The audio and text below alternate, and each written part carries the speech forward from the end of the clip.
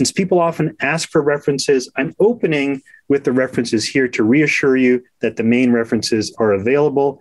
And like I build my work on these references, I want to tell you all that uh, all of us build our work on the ancestral lands of the indigenous. So the University of Alberta respectfully acknowledges that we're located on Treaty 6 territory, a traditional gathering place for diverse indigenous peoples, including the Cree, Blackfoot, Metis, Nakota Sioux, Iroquois, Dene, Ojibwe, Saulteaux, Anishinaabe, Inuit, and many others whose histories, languages, and cultures continue to influence our vibrant community. Here at the University of Alberta, which sometimes can feel like the University of Anxiety, which is why we're going to address the stress today by looking at some of the history of stress research. You'll learn a writing hack with which you'll be able to unleash some superpowers. So let's start with the, the video where we learn about the four F words and nuts. So it all begins with Walter Cannon's cat. Walter noticed that when he was feeding his cat, if he startled the cat, the cat didn't feel like eating any longer because the cat would enter into freeze, fight, or flight mode. And then later on, other scientists added the freeze response. So the fight, flight, or freeze forms the biological stress response, with Hans noticed here that this could be triggered by positive and negative events. And then in the 1960s, Shelley Taylor added a social response. He said that some tend and befriend or they fawn. So that gives us the fight, flight, freeze, or fawn response, which is also known as the four F words. Now, in the short term, if you are experiencing the stress response, it's great because it can save your life. If you keep experiencing it without any break, uh, you will basically f- f- f- fizzle out. So we need some kind of warning system to warn us when we might start fizzling out. And that's where we all have to admit that each one of us has an allergy to nuts. NUTS is an acronym from Sonia Lupien.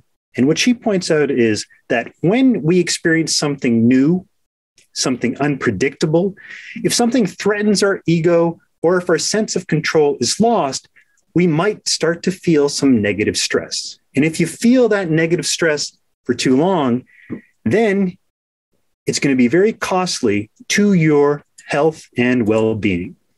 Writing can also make us feel nuts because we have to produce something new. There's a blank page. We question our competence and we fear judgment. So, what can you do? We have to reframe the negative stress of writing to take action, regain some control, maybe make writing feel more positive and move into flow.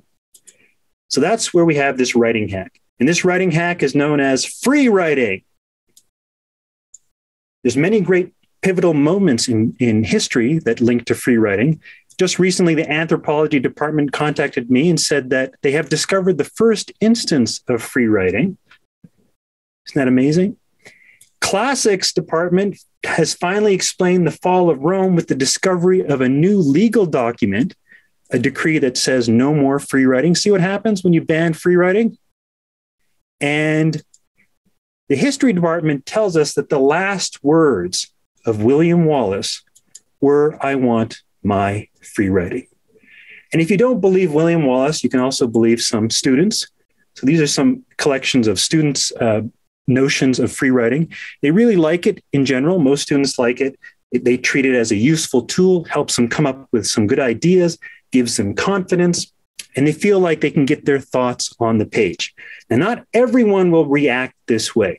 There are a few students that sometimes react with some resistance. For instance, there's a student who says, I always need a plan, I need structure, I don't like writing without a clear outline. I'm not a hippie.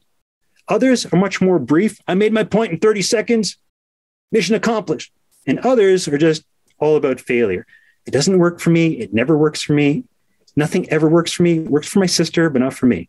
If you're wondering what works or doesn't work, we're talking about free writing. So let me list the traits of free writing so you and your students can use this. Free writing is when you write nonstop without self censorship for a set period of time or for as long as you want. Writing without worrying about grammar, punctuation, or spelling.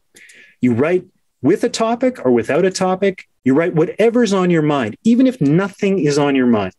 Quite literally, if nothing's on your mind, you can write Nothing's on my mind. This free writing is weird. Blah, blah, blah, blah, blah. And you can write B L A H. You can write blah.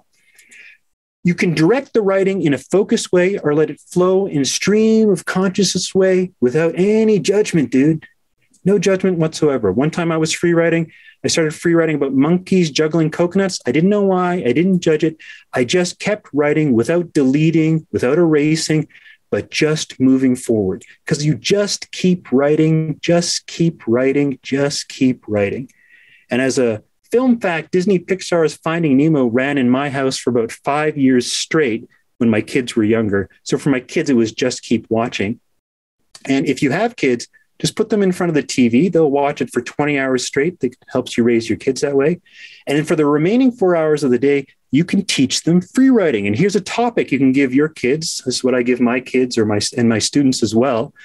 It's a topic that is ask you to write about a time when you felt at one with the universe, in the zone or in a state of flow.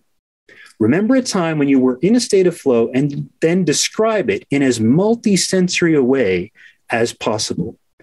If you don't know what flow is, it's a term popularized by this fellow, which, if you know how to pronounce his name, if you practice it and can learn it, you'll reach the highest state of flow possible. In colloquial terms, flow is known as being in the zone. It's when you're immersed in an activity that requires skill and that challenges you, and you feel at one with what you're doing it. And I can relate a time when that happened to me. When I first started playing basketball, I couldn't bounce the ball. My hand was stiff. The ball would hit me in the face. It was horrible. But over time, I didn't have to think about how my body was moving, and I just started bouncing the ball. It became like a natural reflex. And then one time in a game, everything went perfectly, it seemed, in the sense that I was passing, I was shooting, I was scoring baskets. And that's being in flow. When for a moment or for a brief period or a longer period, everything just seems to click. Some people get into flow through art, others through music. There's many different ways you can get into flow. And flow itself is a great stress buster. So when you're in that state, you tend to de stress. The other reason why I explore this topic is because I want to associate free writing with getting into a state of flow. Sometimes students don't have a moment of flow in your life in their life or they can't come up with one so that's no problem. You can just adjust the topic about a time when you're happy or when you felt positive. And that's because i want students to think of a free writing happy place. So their free writing or their writing about a time when they felt positive or happy serves as a reference so they can reframe future stress events. So i include this advice with the assignment which is whenever stressed recall the flow event, remind yourself that you're up to the challenge, whatever the test, exam, essay is, and you can use that as an opportunity for you to get into a state of flow. So you can unleash your superpowers. Flow free writing is great for tackling writer's block. So instead of waiting for ideas to come, you can write yourself into ideas. It's great for kickstarting a study session or just about anything. For instance, I had some students who were stressing about an upcoming chemistry test. So I suggested they free write for five minutes about everything they learned about chemistry. And they were able then to turn that into a longer study session because they were having a hard time getting motivated to study. So it's a way to kickstart things, whether it's generating a few ideas or writing a novel. Some use free writing for anti anxiety. They let out all the thoughts swirling around in their head, put it on paper, and then they just let it go. Others can use it for encouraging participation. So you give a topic, have students free write for a few minutes, and then more people are prone to communicate and with one another in the discussion time. What we're trying to do is teach that it's fine to make mistakes, take risks, to experiment, because writing and learning can be messy. So students need to learn that. It's not about being perfect all the time, but letting them have space to grow and explore. Some profs use this for emotional exploration. So you give a topic, you want students to explore something from an emotional side or even reflect on their own lives. And they can use that free writing to build into papers or assignments like reflection papers that are marked. And remember, you might feel uh, experience some resistance from students, and it's fine because you can tell students free writing doesn't work for everyone all of the time because it doesn't have to work. You reward the attempt. It's like working out. Free writing is an exercise. You can also share your own struggles with writing and communicating because we want to demystify writing. Sometimes we have this idea that writing starts out perfect or that professors always write perfectly. Uh, and if you tell them your own struggles, it's a way to build a community and share with one another. Encourage students to try again. If you have students who struggle, because sometimes students do struggle, because in their mind they have the voices that they imagine of teachers critiquing them or their own fears or worries about their punctuation or spelling. So the first time it can be hard for them to let go. But if they keep at it, they'll find that they can improve with their free writing and allow more of their voice and ideas to come out. You can adapt it for different purposes. And it's very important to treat free writing as one of many tools, because even if it doesn't work for you, you have it in your toolbox and you can use it in the future.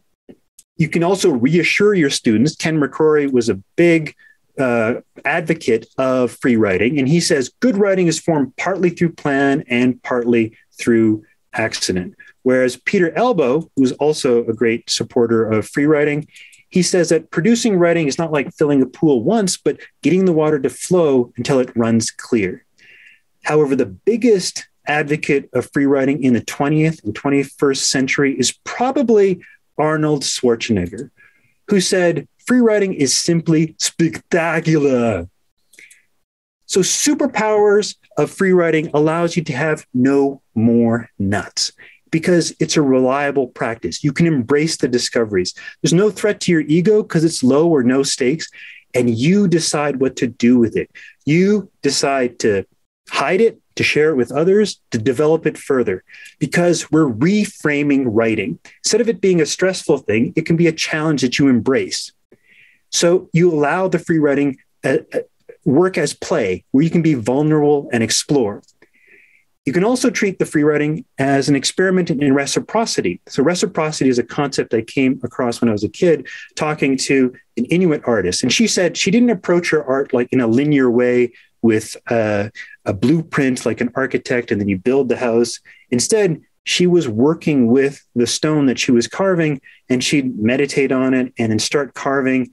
And metaphorically, the stone would speak to her and she'd see, well, what kind of animal will want to be unleashed? And that can happen when you're free writing too. You start writing, you don't know what's going to come out necessarily all the time, but what comes out might be something you can work with. So you allow for that creative process to, to happen. And the final point here is about synchronicity. And even those students who don't like free writing and those who do like free writing, they really appreciate this idea of synchronicity and non synchronicity. So, what this means is when you're free writing, you might notice that sometimes your thoughts are slow and your writing is fast. So, you tend to ramble. Or your thoughts are too fast and your writing is too slow and you're trying to keep up. And when students realize this, again, even those few who don't like free writing, they're like, they see that the writing is not a problem because of the topic or the teacher or because writing in and of itself, but because maybe they're not synchronizing their thoughts with their expression.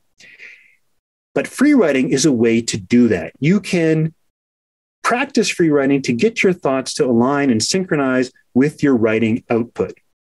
But the best part of free writing, of course, is that it's free.